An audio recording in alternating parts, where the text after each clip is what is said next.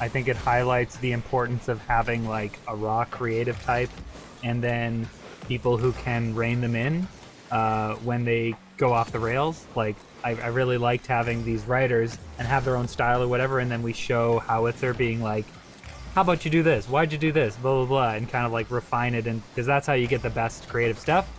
And two, I liked how, as we said, Wes Anderson really loves these framing devices where it's like it's a story within a story within a story, and we had a similar framing device here. And I think it was even more appropriate here than in Grand Budapest or some of his other stuff because this is I mean, the thing that connects these three stories is is the idea of storytelling and mm-hmm. saying something about how stories are told and how different voices are put in and stuff. So Yeah. I really appreciated that those elements. Yeah. I think, I mean, he set out when he started to write this movie to basically celebrate the spirit of journalism and certainly the New Yorker.